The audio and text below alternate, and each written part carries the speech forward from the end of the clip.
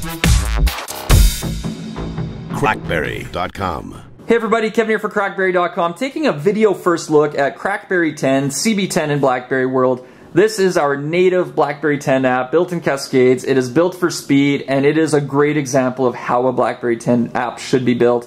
We use all the native UI elements in here. So when you swipe over, you're going to see we have everything Crackberry has to offer. So we've got all of our article content. We have the forums, which are super fast. And we have, you know, a nice little shortcut there. can jump you back to the store or wherever you want to go. Um, it uses, you know, the context menu when you're on content elements so you can take action on them and swipe down for settings. And we've built a lot of good settings into the app already with more to come so you can really customize your experience how you want it. And, uh, you know, as good BlackBerry 10 apps should, there's even an active frame. So when it's running and minimized on your home screen, it's going to switch to that and toggle between latest stories, which is pretty cool. So now we're going to go back into the app, and from there we're going to take a look at each section. So let's start with the uh, blogs, actually. So right now we're on the, the home view. You have your stream of content. You know, if we featured a, a story on the home page, it's going to show up a little bit bigger there. We don't always feature stories, so sometimes it'll just start right like that.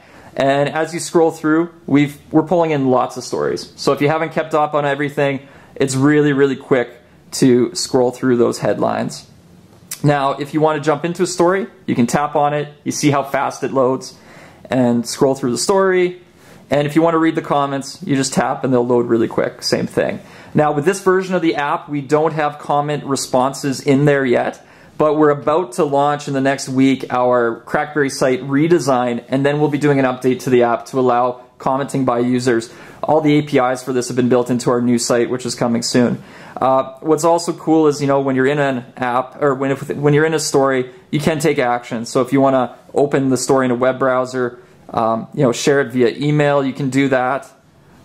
If you want to share it socially, you can do that as well. Share it to a BBM contact, for example it's all connected the way you would expect it to be connected in a great BlackBerry app experience.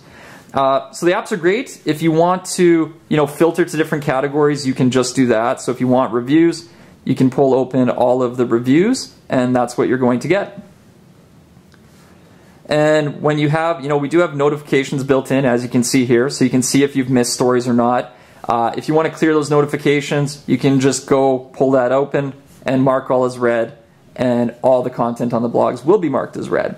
So the blogs are super handy and the forums are even more full featured right now and very fast. So you can navigate quickly into each section, pull up pull open your different forum threads. You know, if you want to go through here, um, you know, oh actually I should show you this. When you're in a forum, this is cool, it'll load up. If you pull down, you can pull up your threads and sticky threads in a forum. Once you're into a forum thread, we've made it really quick to navigate. So if a, if a thread has a lot of pages, you can see this one has four pages, you can pull down from the top and actually jump to any page you want to. So now we're jumping to page one. You can go through your forum thread. If you see a uh, comment you like, you can tap and hold and take action on it. You can view a member's profile, reply to the thread, reply with quote, edit your post now. Thanks and likes functionality are built in. You can report a post, all the things you'd expect to do. If you want to reply to a thread, you can obviously do that as well. And uh, yeah, really, really good. When you get to the bottom of a page of threads, we've made it quick to get to the next page. You actually can just pull up to go to the next page. Super fast experience all around. If you want to create a new thread, same thing. You go into a forum and it's easy to create a new thread, forum topic, and put your post in there. So we've seen a ton of usage out of the app already, and people are just saying it is literally the best app experience ever. Uh, there's a lot of forum apps across all platforms, and this is super fast. Uh, again, for your different forum advanced settings, you can change them up in here. So we've, in, on the settings screen, we've done some cool stuff. So if you want to default to the forums instead of the articles, you can do that, which is awesome. You can choose how you want URLs to open when you're clicking links, if you want them to load right into the app itself or in the browser. Uh, in the forums, when you're jumping on different thread titles, you can go to the first post on a thread or to the first unread post. Uh, you can change your signature up and you have options on how you want notifications to work. And if you want to change your notifications so you don't want it bonking at you, You can open that. It's going to take you to the main notification setting on BlackBerry 10. Now in this case, you have to scroll down. We don't have a way yet to just shortcut this over. Go into other applications and then pull open CB10. And then from there, you're going to be able to change if you want sounds on, off, and everything else. Uh, I can jump into the app quickly again, get out of here. And remember, you can always pull back on that menu to get to the shortcuts if you want to jump around, or we also built that shortcut into it just to make it extra easy.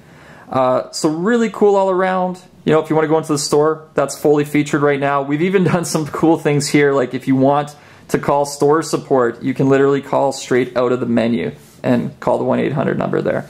Um, just awesome, right?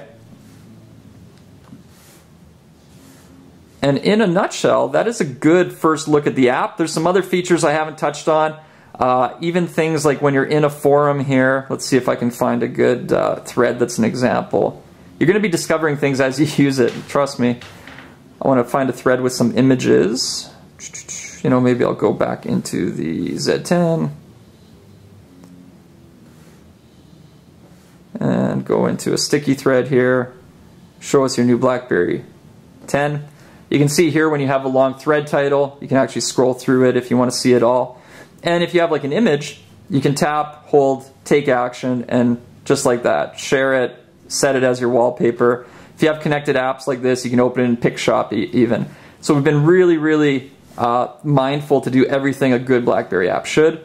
You know, even when it comes to BBM integration, we have that. So you can go to invite a contact.